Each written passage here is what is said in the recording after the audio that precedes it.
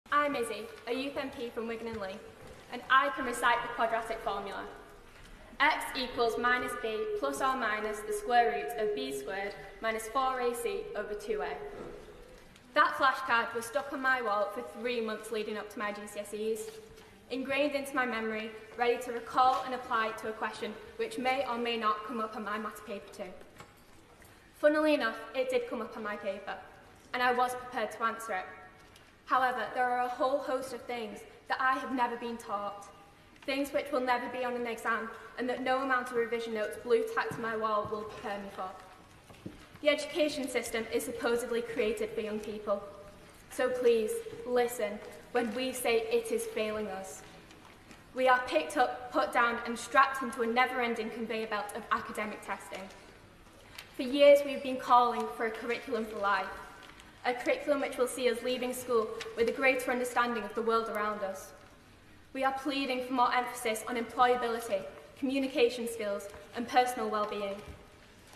Isn't the foundation of education creating well-rounded, well-informed young people ready for the future? So why do I, after spending 14 years in countless classrooms, feel so unsure about what's to come? Young people are more than just letters or numbers that they see on a piece of paper in mid-August. We are not a percentage of A stars to Cs. We are not evidence in an Ofsted report, and we are not a pass or a fail. The pressure students are under to perform is excessive, with the 2015 reforms in particular seeing an increase in content and more emphasis on examinations. Memorising has become a synonym for learning, and mental health has suffered as a consequence.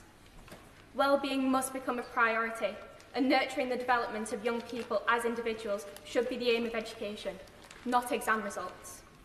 So no, I don't know how to maintain a good mental health. I don't understand how to pay tax and I have no idea what I want to be when I grow up. But go on, Madam Deputy Speaker, ask me, and I'll tell you all about the quadratic formula.